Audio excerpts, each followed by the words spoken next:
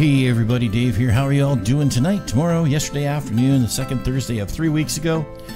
And uh, it's that time again, Syndicated Pipe Club, once again in your ears and on your screens if you're watching on YouTube. Oh, I do have to apologize. We've been talking about talking about Avatar for weeks now, and we're going to talk about talking about Avatar some more because I still haven't watched the next episode. Because life. Anyway, as always, I have Greg, the Badger Piper Warrior, with me. How are you doing tonight, Greg? Greetings. Uh, a good evening to you. Uh, doing well over here. Just uh, thankful to get out of the house for a moment. The, after all the craziness of today, of, uh, uh, it's been just a very busy day since uh, this morning when my son woke me up early. Yeah, I've had those days too. And Sunday was one of those days. Yeah, he's usually like really good, but um, you know, he he woke up and he really needed a, a diaper change, and and normally like you know he'll wake up some mornings and he'll cry a little bit, but it's because he's kind of like searching for his water bottle in his crib. Right. Uh, but right. this one, like he like woke up and just uh, stayed very still and just kind of let out this like very mournful cry, and uh, that's when I realized that oh, you know, this something was different with this one. So I think I was able to sleep, go back to sleep for a while after that, but uh, it was still a uh, big enough disruption that's just kind of thrown my whole day off. Yeah, I can see where that would be a uh, certainly a big problem. Us parents don't get enough sleep as it is, and when you're getting less sleep than you normally do, it just doesn't make anything work right after you're done. That's for sure. Right. So, what are you smoking tonight, Greg? Tonight, I am smoking uh, Kramer's blend for Danny K, which is a, a nice uh, uh, aromatic English. Uh, in my Stanwell's brushed brown uh, pipe with a paneled stem. The bowl is regular, but uh, you know, c- you know, cylinder shape. But, but uh, the stem has a uh, nice uh, panel shape to it for sitting. How about you? Me, I'm smoking my Morgan Bones bent billiard, and in it, I am smoking some thing. Where is it? I put it away, I think. Now I can't remember. Now I can't remember what I was. Hold on. I'm so uh, smoking some Independence from Missouri Meerschaum. Very nice. It is a good English blend. I'm glad I found it, and and by I found it, I believe somebody sent it to me. I'm not exactly sure who. I think it was a Secret Santa a couple years ago. Oh, nice. So every once in a while, when I'm feeling patriotic for some other place in, in the world, like you know next door, I uh, break it out and smoke some Independence. Yes. Uh, well, I, I hear you on that know, even no matter what, even no matter what, however I feel about uh, things, I still love, uh, you know, the, the basic uh, ideals of, of, my country and everything. So uh, I, I hear you on that. Yeah, yeah, I'm sure you do. I mean, it's it's not like it's really just a just to quickly get the political tickle jabs in it's really not like your country's that much different from ours anymore because Biden and Trudeau are basically singing off the same song sheet. Uh, everyone that's basically in support of the Great Reset just needs to go away. Well, honestly, from uh, what I've been reading, Trudeau will be going away. See, he didn't win a majority government over here the last time he called a snap election, which was just a month or so ago. And typically, when something like that happens, the leader who made that stupid mistake gets to go away. He will no longer be the leader. He's won two minorities in a row, and he called one thinking he was going to to win and be the power for four years, and well, he was wrong. They still won, but they still have to work with everybody. So, Right. really, I've said this before to people, and I will say it again. In Canada, a minority government is what you want because you can't just walk everything that you, your, the party in power wants through. It's the Right. best. It's the best situation for our fractured political system. Right. And for me too, like I, you know, like I, I lean conservative, but uh, I know bad things happen when one power, one, uh, one side has too much power and there's nothing to, to check that. And, uh, and so like, I, I don't want my, uh, you know, party to have like absolutely everything, but, uh, you know, it's, uh, yeah. Uh, so I, I do believe like it, it's, I may not always like to hear the other side, but I think it is uh, an important because it's a good check on yourself. Oh yeah, it's absolutely necessary. There's just no way around it. You need the checks and you need the balances, and if you get the party that is not doing their checks and balances properly, that's when you start getting trouble. That's right. All right, so we've, we've been discussing what to discuss this episode, and that's why we went briefly into politics, not like the political episode that aired not that long ago. Yeah. Which, by the way, if you don't agree with us, that's okay. Absolutely. You know, like, uh, you know, feel free to you know kind of fast forward through that stuff if you don't care for it or anything. But uh, And in, in the case know? of in the, in the case of the episode entitled "Uh oh, here comes the politics," just skip that one. Yeah, no, absolutely. And uh, hey, you know, like, if you don't disagree, uh, uh, if you don't agree with us, you know that we, we uh, don't think any differently of you. So That's I, right. I just want i know things are very uh, hot tempered right now with everybody but uh, you know certainly i have my feelings and opinions but i never use that uh, ju- I, I try my best not to make that judge who is worthy of uh, you know my friendship or whatever. Like i, I may get frustrated sometimes but uh, you know in the end if you're a good person you know i i appreciate that and i try to find uh you know what common ground we do have Absolutely. Okay. Um. So yeah, this could end up being one of our shorter episodes. Like I'm already looking at the time, going, "Hmm, we're only seven minutes in, and I'm already out of ideas." You- so where can they find us on social media Oh, you can find us anywhere in the links below, because I'm not repeating them.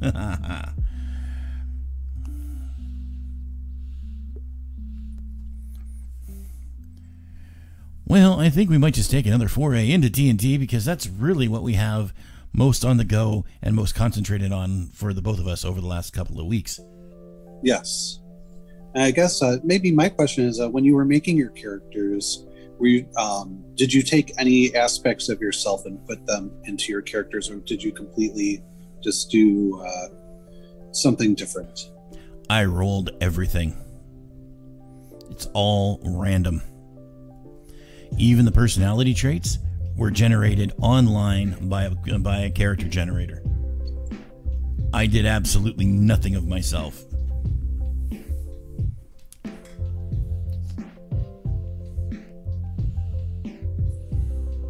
So not even just like in their general personality or anything like from day to day or whatever. Like, uh, No, I. I, I don't know. I am a horrible role player. Hmm.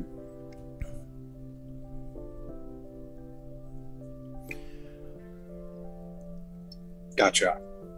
So it's one of those things. If you want to find out about the character, you can uh, you can read about him and his brother and the adventures we have as I write the story of them.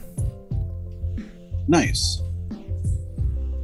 I've been waiting on some background for a couple of characters that are already in the party, but the lady who created those characters hasn't gotten back to me with it yet, so I'm kind of Gotcha. stuck. Gotcha. But if she doesn't get to me by the end of the week, I'll ask her uh, at her next at her next uh, game, and if she's got nothing, I'll just wing it. Cool, cool. Yeah, I have to. I have to think of a backstory, I guess, for my wife uh, and her character.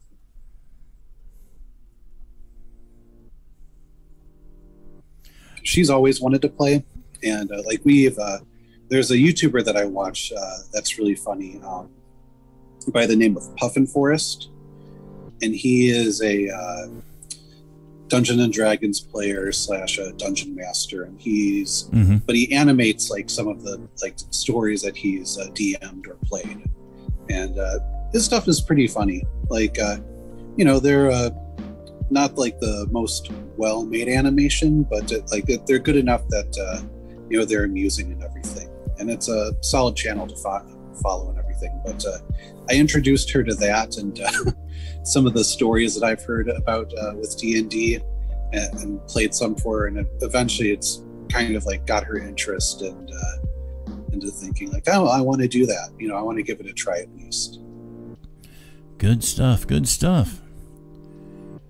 Yeah, so just to, to fill fill you the listeners in, and yes, we're definitely veering from the from the pipe and the TV to this, this week, and concentrating nothing on, on nothing but because, well, D and D you can watch it live, but it is just a bunch of people sitting around a table with pieces of paper rolling dice. that that that's about all the action you actually see. It's all in the mind. Yes. So you have to imagine me tapping with my my temple with the uh, the stem of my pipe, because that's what I'm doing when I say it's all in the mind. But yeah, I've created uh, two half-elf characters, brothers Darvin and Halamath Evenwood. I'm thinking Hal is probably going to go away soon, just because with the addition of yourself and your wife to the to the party, and we've got another guy joining same day as you this coming Sunday. So we are going to have like one, two, three, four players with one, two, three, four, five, six, seven characters. So I might send him home, just to you Or know, just to make the make the the party the turns not take so long. well, here's an idea. Why don't you ask? Uh, you know, we don't necessarily have to kill him, but you could maybe ask Bruce to uh, maybe by the end of the the next session have something happen to him that becomes uh, like this, like a possible kind of like um, story beat for us to try to eventually save him from something. Well, I could do that, but I already know that Bruce has got the first four or five campaigns already planned out. Hmm. So I don't think I want to. I, I don't want to keep him around too long. I'm holding him off one one more week because I just want to see what the dynamic is with the with the group. Right? We may need another fighter, but you're coming in as a paladin. We've already got a dwarf fighter. We've got uh, a human ranger. We've got a cleric coming in. My my wizard's probably going to be uh, dual class, multi-classing as a druid as well, which gives him some fighting ability. So we're gonna be we're gonna be fairly well rounded as with fighters. I don't think I need to play two, True. but I don't want to kill him off or get him injured in such a way that he uh, can't come back later on as a different character or, or a character down the road. It's you know we we bump him up to wherever the levels of the group are, and you know because maybe he went off warring or something when he get went home. You, you know he's a barbarian. He might just say, ah, I'm going to go over here and see what's going on.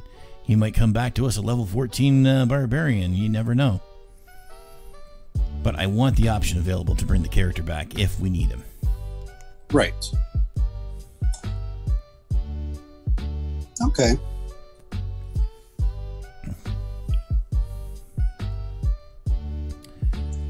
So yeah, that's uh, that's what I've been I've been doing, and I've been kind of kind of writing down the story, you know, fictionalizing the fiction that we created uh, for the first campaign.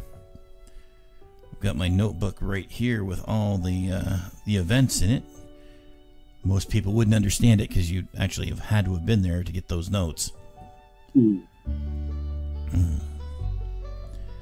But uh, yeah, it, it was a fun time. Cool. Yeah, I, I'm excited. I've never, I've never played it, so, uh, but I've played plenty of RPGs that, uh, you know, their core groundwork is uh, Pretty much the same. So it's just that uh, most of the games that I play, the characters are already kind of pre-made and pre-set, like Final Fantasy and Dragon Quest. Um, whereas this one, it's more Western RPGs. It's more you create your character. Yeah, yeah. I uh, I've only played Western RPGs. I played a couple when I was younger, like about 20, 25 years ago. And, and you know the mechanics are, are the same. We're using the same polyhedral dice set. You you got a lot of the same skills and whatnot crossing over from game to game. It also helps that you know Wizards of the Coast made the other games too, so that helps. But yeah, it was a fun time, and yeah, it's just opportunity knocked, and Bruce wanted to start a game, so I figured, ah, I haven't done it in years. Get back into it, see see if it's any more or less fun than it was before, and it's not bad so far. I, I, I do think you know it will depend on the group you get together or something like this. Yeah. For me, I think it's going to be uh, definitely different the, the first time I play it because when, you, when you're playing a, an RPG on uh, like a video game, it's basically you, you run around and smash things. And uh, whereas with uh, the actual D&D, there's a lot more of just uh, like attacking the enemy isn't always the best uh, uh, solution. Yeah, that's not always the way necessarily the right way to go. That's true.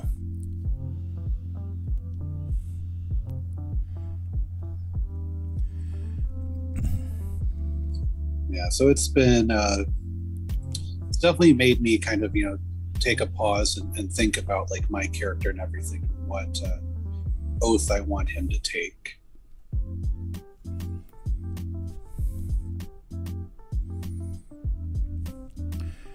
Yeah, I th- I think if I if I go with this uh, idea I have about multi-classing uh, druid wizard, I'm just gonna get the druid up to level two to match where I'm at in the wizard wizard class and and you know pick my wild shape. Pick uh, I think I have to in level two also pick the, uh, the the class of the druid. You know, Yeah, whether it be land, moon, star, space, ice, smoke. spore. Yeah, that one. I, I was gonna get to it. I think. Yeah. Being uh, I've one of the things that uh, like once I because uh, all I knew were the just general kind of classes of D and I didn't realize that there were like subclasses, and that Oh, yeah. really uh, that really got me interested uh, in in that because they definitely add a lot of flavor to uh, to your character.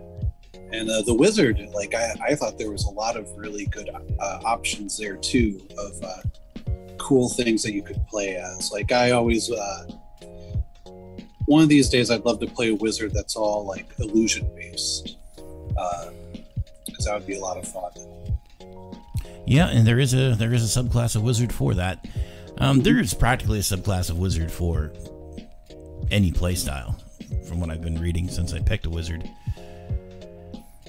Um, but I am by far no expert. I mean, I, and as far as D and D goes, I literally have one game on you from two Yeah. weeks ago. I think that's it.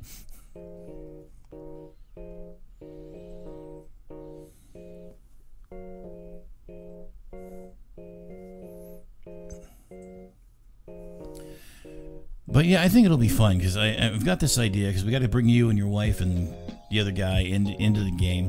I think I've got it. I'm going to talk to Bruce about this. Um, but I, what I'm going to ask him is if we can have had my wizard disappear for a couple of weeks, where his brother comes look comes comes to the current group and goes, "Hey, have you guys seen Darvin anywhere? He he disappeared shortly after uh, after the." Uh, after we got back from protecting the caravan. And I'm going to see if I can get Bruce to send them looking for Darvin. Hmm. And it's not going to take long, you know, like a turn maybe. But he's going to come back. And he's going to, I want him to bring in the three of you. he met you on the road, right? hmm Well, the challenge is well, um, my wife is actually she's not going to be there um, this Sunday because she's actually flying to Las Vegas Mm. uh, for a work trip. Uh, so uh, that does uh, complicate things, but depending on what she plays as, like uh, you know, if I if she plays as a rogue, uh, you know, we can always have somebody sneaking around uh, and pop in. Um, but uh, you know, at least with uh, with my character, uh, that should fit, and with uh, this other guy's character. Okay, yeah. Well, I can bring the two of you in that way then. That's no problem. We'll figure Yeah. out a way to get your wife into the story when she's available next. Yeah, no, I, I think I don't think it should be too too difficult.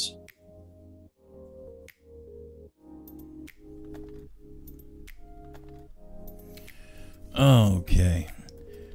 Well, I actually am going to call it here. Um, just because I have had a heck of a time this last week with a phlegmy cough. And it's nothing new. It's the cough I had from when I got sick almost a month ago. It's just mm-hmm. not letting go. And I've had to turn the mic off a couple of times just so I can clear my throat. So, just to just to say, hey, hopefully by next week you guys can have a nice clean episode where we can talk about the Avatar and not talk about not the Avatar. You know, not talking about we- we're not going to talk about talking about the Avatar. We're actually going to talk about Avatar. There you go. Yes. Say, Absolutely. say that five times fast. I couldn't say it once almost. Yeah. All right, but anyway, if you want to follow us throughout the week, of course, you can find me on Twitter at dralien201 and various other places that will be in the link tree that is left down below for you to click on. Greg, where can the people find you? You can find me at the underscore Badger Piper on Twitter and on Instagram. I am the Badger Piper. And of And, course, uh, you can always email us at the reverseflashtime at gmail.com email that nobody ever, ever emails us at. And you can also comment on our YouTube page, uh, video. Uh, you know, smash that like button. Uh, leave us a review on uh, iTunes and all that stuff. You know, as long as it's a good review, uh, and and whatnot. And uh, you know, it's uh, it'll be appreciated. And we, and if you've already done stuff like that, thank you. We appreciate you for doing that. Yes, we, we really, really do. And um, just if you have done that and you're wondering why we haven't actually shouted you out for leaving said review, it's because I'm in Canada and I can't access American iTunes. So the majority of the people who listen to us are from the US. I can't see if anyone's left a review. So I'm sorry. Well, I know what I'm doing after this episode. I had not meant to pigeonhole you into that, but I kind of did, didn't I? Oh well. All right. Well, everybody, as always, we're wishing you good smokes, great entertainment, and we will see you next week. Chat with you later.